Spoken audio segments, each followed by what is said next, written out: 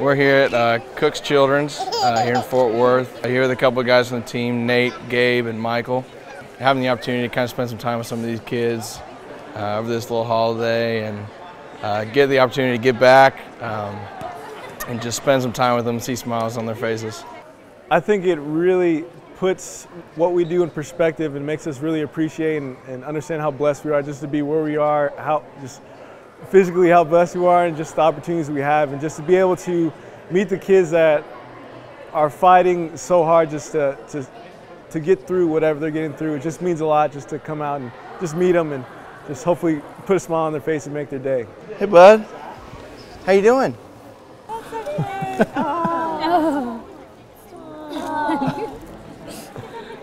I'm Turner.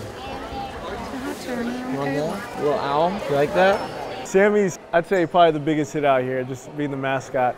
But he, I think, just being out here, I, I don't know. It, it, definitely makes our day if we if we could make their day for sure. It really brings a lot of smiles to a lot of kids. So it's very special they come out here and, and show their support to the Children's Hospital here. So we at Cooks and the parents of Cooks and all the families here really appreciate that.